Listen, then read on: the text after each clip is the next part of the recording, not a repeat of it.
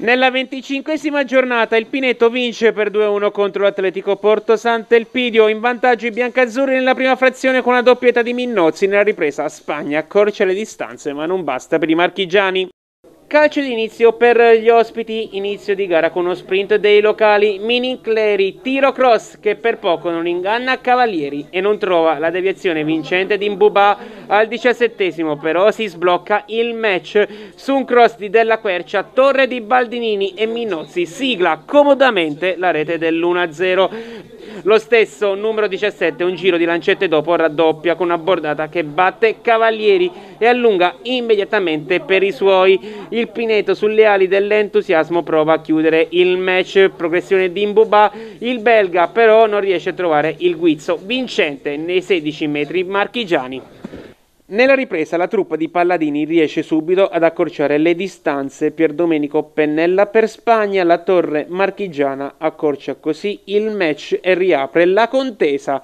I ragazzi di Mister Pomante non ci stanno, Minozzi prova a battere per la terza volta a Cavalieri che risponde presente. La partita è noiosa e non succede più nulla, il Pineto vince 2-1 contro l'Atletico Porto Sant'Elpidio, conquistando il secondo successo di fila per i marchigiani, una buona prova, ma zero sono i punti racimolati dalla truppa del neo subentrato Paladini in classifica.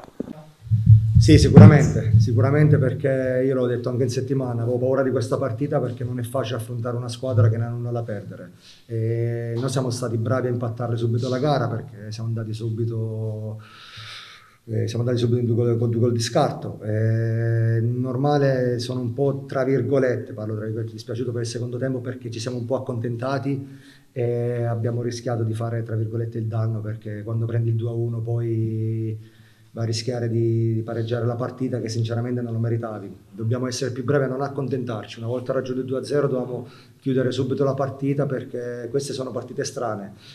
Vorrei ricordare anche perché il Porto Sant'Elpido è una squadra che nelle ultime partite le, le, le partite le ha sempre giocate e ha pareggiato 0-0 a Castelnuovo, ha perso 2-1 col Matese e ha perso 2-1 con l'Alba Longa. Quindi è una, è una squadra che le partite non regala nulla, è una squadra che come ho detto prima, le partite si gioca fino alla fine e noi siamo stati bravi subito a portare la partita da parte nostra, però c'è il rammarico che la partita la devi chiudere, non, dovevamo soffrire così tanto nel secondo tempo. No, l'obiettivo è quello di, di costruire qualcosa, di costruire qualcosa con questi giovani, poi logicamente dobbiamo fare come abbiamo fatto il secondo tempo, eh, cercare di mettere in difficoltà gli avversari, che sono sicuramente sulla carta più forti di noi, ma noi non dobbiamo regalare niente. Noi purtroppo abbiamo regalato due gol eh, che hanno condizionato una partita contro una squadra forte che ha delle qualità, che sappiamo tutti che ogni anno investe perché vuole arrivare tra le prime e quindi eh, sapevamo tutto questo. Regalare due gol così mi dà fastidio